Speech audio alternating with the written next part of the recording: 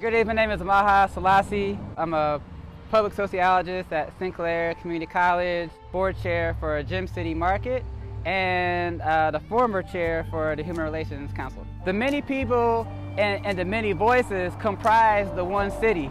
And I think oftentimes when we're looking at inequality or we're looking at a community that's disjointed, it's because a lot of voices are not at the table.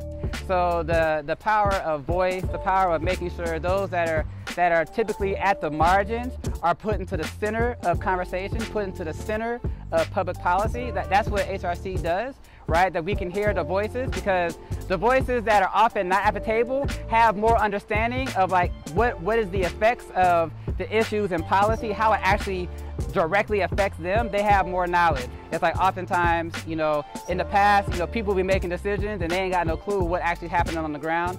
This notion of many people, and many voices is, is how to really center and ground the work inside of the experience of those that are, that are living it out the most, how we come together as a community. Because when you take care of uh, and include the voice at the margins, everybody benefits, right? And that, that's this whole notion of one city, you know what I mean? So we can't be one city apart from everybody else.